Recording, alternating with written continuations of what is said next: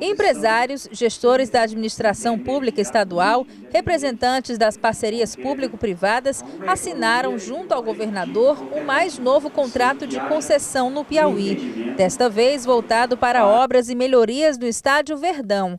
O objetivo, segundo a superintendente de parcerias e concessões, é melhorar a operação do ginásio para transformá-lo em uma arena multiuso.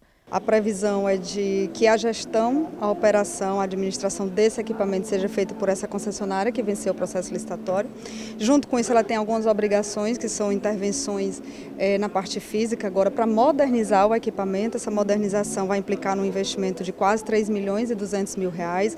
Esse investimento é voltado para é, dotar o equipamento, o Verdão, é, de uma infraestrutura capaz de competir com os outros ginásios do país, principalmente para a realização de eventos internacionais. Então essa é uma etapa fundamental dentro desse projeto e mais do que isso é fazer com que o Verdão funcione diuturnamente e diariamente. A proposta da empresa vencedora foi de 3,2 milhões de reais em investimento para o estádio Verdão. O interesse da gente junto ao Verdão é se, é, se agregar e se unir junto às federações do estado do Piauí, para fazer eventos, shows, é, culto evangélico, culto católico, é, tudo que tem interesse do lado esportivo. Além da assinatura do contrato de concessão, também foi apresentado ao mercado o projeto de PPP para o Porto de Luiz Correia.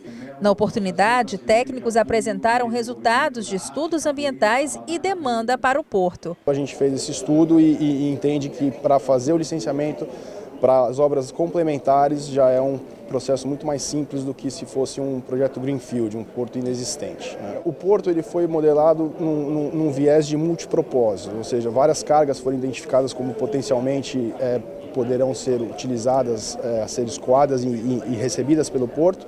E existem condições também de cadeias verticalizadas fazerem uso do porto. Então, em termos de movimentação, isso varia muito conforme o tipo de carga. Mas pensando numa carga geral, que é uma uma carga mais diversificada, que não, é um produto granulizado e, e, nada disso, a gente está falando de uma capacidade de 2 milhões de toneladas por ano. Posto de Correia, essa etapa agora faz parte de um projeto, de um processo, na verdade, de uma dinâmica de roadshows, onde a gente apresenta o resultado do estudo técnico, econômico e financeiro para o mercado, principalmente para é, sentir e atrair o setor privado, as empresas interessadas em instalar, em se instalar nesse complexo portuário e a partir daí também né, promover e melhorar o processo de competitividade da nossa licitação, que deve acontecer em torno de julho e agosto. Autoridades prestigiaram a solenidade de assinatura de contratos e apresentação do projeto para o Porto. Dentre eles, o presidente da Assembleia Legislativa, deputado estadual Temístocles Filho, a vice-governadora Regina Souza e o deputado estadual Franzé Silva. É importante,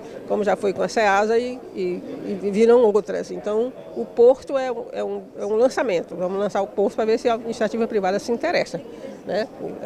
Ela vai avaliar, vai ver, porque quem sabe disso é a iniciativa privada. Eles, eles estão acostumados a trabalhar com isso, com esse negócio de porto. Então, vai apresentar aqui, vai apresentar em São Paulo, depois em outros lugares, e até aparecer um parceiro mas o Verdão já é consumado, vai assinar. Eu acho que a experiência é boa e que certamente vai continuar. O centro de convenções já vai ser colocado à disposição e outras, outras coisas, zoo botânico, para poder o Estado cuidar daquilo que é essencial, que é a saúde, a educação e segurança. Está aí a nova SEASA, está aí a subconcessão da GESPISA, a gestão é, das rodoviárias, nós temos o Piauí conectado e agora mais um equipamento. Quem ganha com isso? Ganha a população. No momento em que o Estado deixa de botar recursos para custear um equipamento público e passa a ter receita e passa a ter principalmente qualidade de serviços para a população, é um todo que a gente coloca como ganho. E esse ganho o governador Elton Dias tem colocado no dia a dia da gestão desde 2015 para cá. Não é à toa que o Piauí já é premiado na ONU com o modelo das parcerias público-privado da Nova Ceasa e coloca esse modelo como um modelo em que o equipamento continua público sob a gestão de um privado. Nós temos certeza que esse novo contrato será mais um contrato exitoso e que vai trazer benefícios para o povo do Piauí. O governador Wellington Dias falou sobre os ganhos para o Estado com os novos contratos de parceria público-privada. O poder público, estou falando aqui o povo, né? faz um investimento, ali coloca é, um volume que foi importante agora de recursos no caso do Verdão, e aí é, passam-se alguns anos e ele está todo depredado novamente.